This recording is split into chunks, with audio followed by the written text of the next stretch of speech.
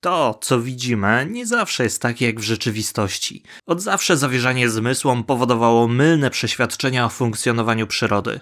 Nie wiem, czy wiecie, ale pierwsze wyobrażenia świata sprowadzały się do stwierdzenia, że jest on płaski. Coś jak dzisiaj w niektórych kręgach Homo sapiens, gdy wynika to wprost z ograniczeń poznawczych i braku należytej wiedzy.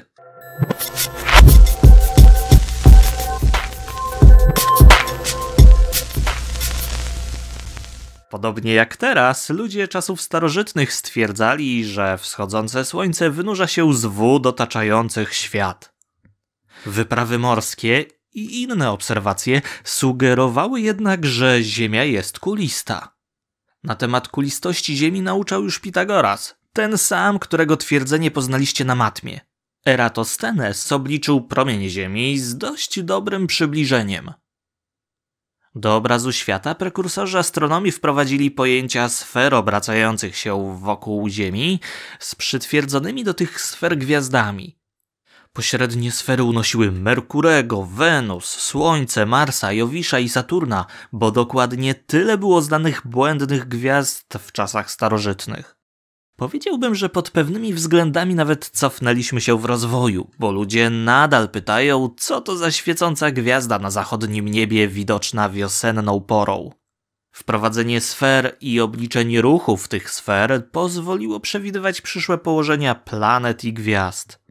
Oczywiście przewidywania były na tyle dobre, na ile pozwalały na to specjalistyczne instrumenty tamtych czasów, głównie oko i w miarę prosty kij. System sfer udoskonalano wraz z nowymi obserwacjami ruchów planet oraz gwiazd, co w rezultacie doprowadziło do wykreowania aż 55 sfer opisujących to, co widać na niebie. Pogląd o nieruchomej Ziemi, wokół której poruszają się gwiazdy, był sukcesywnie rozwijany, a hipotezy na temat innego kształtu wszechświata wyśmiewano i odrzucano z uwagi na brak dowodów. Niebagatelny wpływ na to wszystko miało też dziedzictwo kulturowe przekazywane we wierzeniach religijnych i traktowanie astrologii jako jednej z poważnych nauk. Wraz z coraz bardziej precyzyjnymi obserwacjami ruchu planet, do których przyczynił się na przykład Hiparch, e, sfery, po których poruszają się planety, zastąpiono orbitami. Same planety musiały poruszać się po dodatkowych okręgach w ramach swoich orbit, dzięki czemu wyjaśniano epicykle planet. Ten model nieruchomej Ziemi miał swój początek w czasach starożytnych i był podtrzymywany z kilku powodów, opartych w sumie na obserwacjach.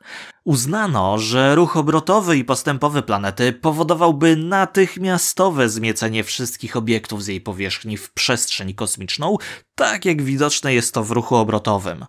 Nie obserwowano też przy tym zmian położenia gwiazd stałych, które powinny być widoczne w ruchu postępowym po orbicie. Natomiast obserwując nocne niebo, widać przesuwającą się kopułę gwiazd, co tylko utwierdza w przekonaniu ruchu sfer wokół nas. Na tamte czasy istniał też bardzo dobry model matematyczny systemu Ptolemeusza, który w miarę sensownie opisywał i potwierdzał dokonywane obserwacje. W systemie tym nadal występowały pewne rozbieżności między modelem a rzeczywistością, no ale wiara i utwierdzenie w przekonaniu w poprawność modelu no, mogła jedynie zwiększyć e, jego złożoność poprzez wprowadzenie nowych poprawek, tak zwanych ekwantów. W ten sposób coś, co ogólnie cechowało się prostotą, w szczególe było bardzo złożonym i trudnym do ogarnięcia systemem. Dziś wiemy, a przynajmniej część z nas wie, że wędrówka gwiazd na niebie jest pozorna i związana z przyjętym układem odniesienia przytwierdzonym do obracającej się Ziemi. Dodajmy, że Ziemi obracającej się wokół własnej osi i poruszającej się po orbicie wokół Słońca. Tak na dobrą sprawę koncepcja takiego systemu heliocentrycznego przez wieki pojawiała się wielokrotnie i w sumie wielokrotnie była odrzucana. Pierwsze takie liczące się dzieło na ten temat napisał w swojej książce o obrotach sfer niebieskich Mikołaj Kopernik. Takie trochę polskie nazwisko, nie? Księga ta została wydana już przed śmiercią duchownego i była dedykowana papieżowi Pawłowi III. Było to wielkie dzieło, ale też trudne w odbiorze. W księdze wyjaśniono ruch Ziemi, Księżyca i innych planet. Omówiono w niej sposoby pomiarów odległości Słońca i Księżyca, no i rozmiarów orbit planetarnych. Niestety te wywrotowe teorie, godzące w dobre imię Kościoła i jego przekonania, spowodowały wpisanie księgi na listę ksiąg zakazanych. W sumie nie było to bezpodstawne, bo księga ta odrzucała całą wiedzę uznaną poprzednio za oczywistą i udowodnioną naukowo. Dopiero 100 lat później Galileusz na podstawie fascynacji dziełem Kopernika z pomocą badań Keplera oraz obserwacją zachowania planet, w tym odkryciem księżyców Jowisza i obserwacją faz Wenus, potwierdził model heliocentryczny Układu Słonecznego. Odkrycia te były możliwe tylko dzięki rozwojowi druku i powszechnemu użyciu okularów. Zwiększyło to prawdopodobieństwo ułożenia soczewek w taki sposób, że dawały powiększony i dużo bliższy obraz przedmiotu. Galileusz wykorzystał w ten sposób przypadkowe odkrycie holenderskiego optyka do konstrukcji własnego teleskopu, złożonego z dwóch soczewek, płasko wypukłej i płasko wklęsłej. Autorytet Galileusza, jego upór i umiejętność trafiania z trudnymi zagadnieniami fizycznymi do przeciętnego człowieka upowszechniły koncepcję modelu heliocentrycznego szerszej grupie. Filozofowie wyznający nauki Arystotelesa negowali odkrycie księżyców Jowisza przez Galileusza, a ich argumentacja na obecną chwilę jest nawet zabawna. Posłuchajcie. Satelity Jowisza są niewidoczne gołym okiem i nie mogą mieć wpływu na Ziemię. Są więc bezużyteczne, nie mogą więc istnieć. Tak swoją drogą historia Galileusza jest niezwykle ciekawa, ale nie czas i miejsce, by o niej w tym momencie opowiadać. Skupmy się na tym, dlaczego ludzie przez wieki postrzegali Układ Słoneczny takim, jakim nie był. Stojąc na Ziemi, uznajemy, że świat wiruje wokół nas. Patrząc na Ziemię z układu odniesienia związanego ze Słońcem, możemy obserwować jej obrót wokół naszej gwiazdy dziennej. Przyjmując układ związany z centrum galaktyki, ruch wygląda jeszcze inaczej. Nie musimy wybiegać aż tak daleko. Ruch punktu po kole względem układu odniesienia związanego z osią koła nazwiemy ruchem po okręgu.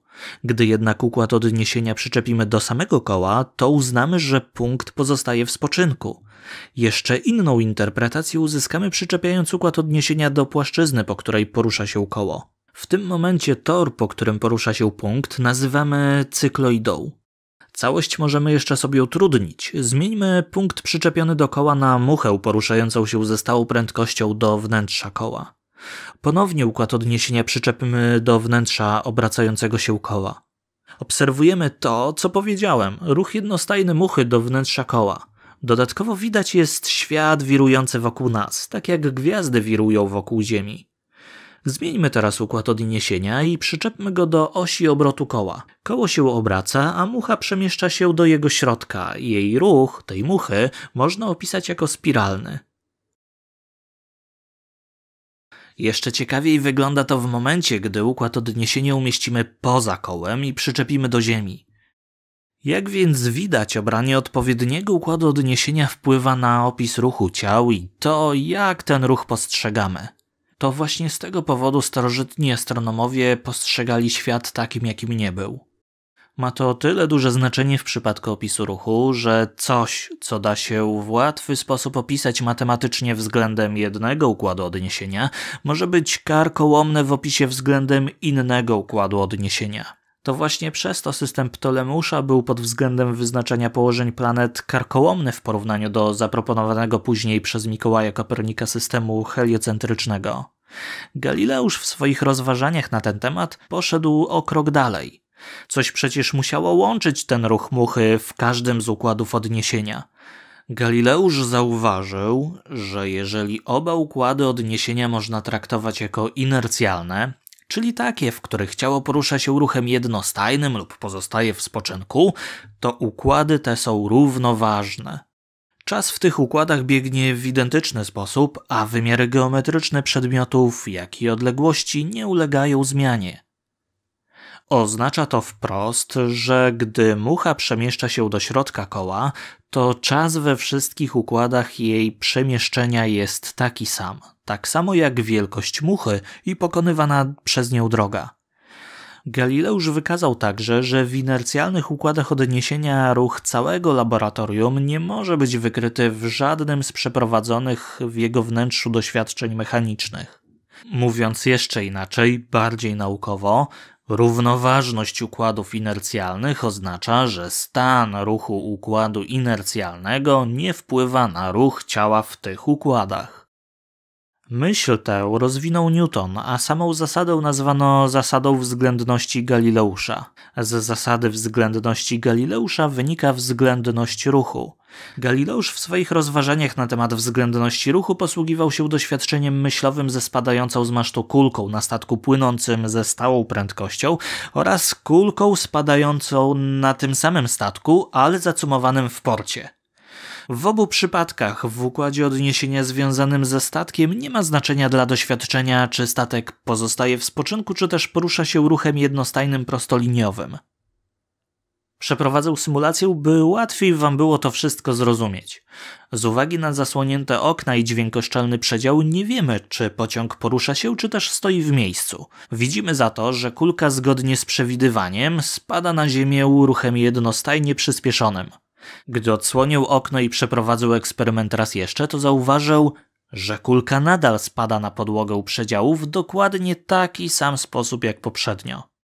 Nawet nie wiedzieliście, że pociąg przemieszcza się, bo nie mieliście ani jednego sygnału z zewnątrz, że to robi. Wykonując to samo doświadczenie na stacji kolejowej uzyskam dokładnie takie same rezultaty. Kulka z tej samej wysokości spadnie w tym samym czasie. Patrząc jednak ze stacji kolejowej na poruszający się wagon kolejowy, zauważam, że ruch kulki w nim puszczonej jest bardziej złożony, a kulka porusza się po trajektorii zwanej parabolą. Wygląda więc na to, że kulka pokonuje zupełnie inną drogę, posiada inną prędkość w trakcie pokonywania tej drogi niż miało to miejsce w układzie, który nie poruszał się. To, co jest to samo, to przyspieszenie kulki. Galileusz zauważył też, że ruch złożony da się opisać dwoma odrębnymi ruchami składowymi, które po złożeniu tworzą aktualnie przez nas obserwowany. W przyszłości z tej własności będziecie korzystać podczas opisu rzutów poziomych i ukośnych. Matematycznie można dokonać pewnej transformacji z układu nieporuszającego się do poruszającego i zauważyć, że mamy do czynienia cały czas z tym samym spadkiem swobodnym. Z zasady tej, w sensie względności ruchu, wynika też dodawanie i odejmowanie prędkości, z którą spotkacie się w ruchach dwu- i jednowymiarowych. Galileusz nie miał na tamte czasy jednak gotowego aparatu matematycznego, którym mógłby to wszystko opisać. Na opis matematyczny tego wszystkiego należało jeszcze poczekać e, jedno pokolenie, do czasów Newtona. Jak się jeszcze później okazało, zasada względności Galileusza ma pewne ograniczenia. Jest ona słuszna jedynie dla prędkości dużo mniejszych niż prędkość światła. Wraz ze wzrostem prędkości dochodzi się do ściany, którą przebił Albert Einstein swoją teorią względności ruchu i przestrzeni. Więcej jednak na temat szczególnej i ogólnej teorii względności dowiecie się w przyszłości na kolejnych lekcjach, które zaprezentuję na łamach tego kanału. Na zakończenie sprawdźmy jeszcze, czy Galileusz miał rację, czy jednak są to wydumane teorie bez potwierdzonego info. Do tego celu wykorzystam stalową kulkę. Będę puszczał ją w taki sposób, by spadała swobodnie w trzech różnych układach odniesienia. Pierwszy układ odniesienia jest związany z Ziemią. Ziemię możemy traktować w tym doświadczeniu jako układ inercjalny, tak jak zrobiłby to Galileusz. Kulka spadając na Ziemię pokonuje pewną drogę w pewnym czasie i spada centralnie pod miejscem, z którego została wypuszczona. Zgodnie z teorią Galileusza, dokładnie taki sam pomiar uzyskamy w układzie poruszającym się ze stałą prędkością. Sprawdźmy to. Aby to sprawdzić, kulkę umieszczam w samochodzie poruszającym się ze stałą prędkością około 15 metrów na sekundę. Prędkość samochodu jest bardzo duża i jeśli teoria Galileusza nie jest prawdziwa, to kulka powinna z niego po wypuszczeniu wypaść, ponieważ samochód powinien spod niej uciec. Jak się jednak okazuje, kulka nie dość, że nie uciekła, to jeszcze spadła dokładnie centralnie pod miejscem, z którego ją puściliśmy. Eksperyment przebiegał dla obserwatora dokładnie tak samo jak w układzie związanym z Ziemią. Sprawdźmy jeszcze, jak zachowa się kulka w układzie nieinercjalnym, czyli takim, który porusza się ruchem zmiennym z przyspieszeniem. Kulkę upuszczam tym razem w spadającym pudełku. Jak widać, kulka spada dłużej niż w układzie inercjalnym, pomimo porównywalnej wysokości, z jakiej spada. Potwierdza to tylko teorię Galileusza głoszącą, że tylko układy inercjalne są sobie równoważne i czas przebiegu jakiegoś doświadczenia w tych układach jest jednakowy. Po tym filmie warto zapamiętać, że istnieje coś takiego jak układ odniesienia, od którego zależy jak postrzegamy ruch. Zgodnie z teorią Galileusza, wszystkie układy inercjalne są równoważne i w każdym z nich doświadczenia fizyczne przebiegają w identyczny sposób, dlatego też nie można określić, czy dany układ inercjalny pozostaje w spoczynku, czy też porusza się ruchem jednostajnym. Istnieją pewne transformacje matematyczne między dwoma układami odniesienia, które pomagają w przejściu między jednym a drugim układem odniesienia. Warto też pamiętać, że ruch względem różnych układów odniesienia może być postrzegany w zupełnie inny sposób. To, co łączy oba układy, to czas i wymiar. Galileusz określił też względność ruchu, co w sumie w obecnym ujęciu w szkole średniej sprowadza się do obliczania różnicy wektorowej wektorów prędkości albo do rozkładania wektorów prędkości na składowe. Tym filmie to już wszystko. Zapraszam do jego udostępniania, lajkowania i komentowania. Cześć!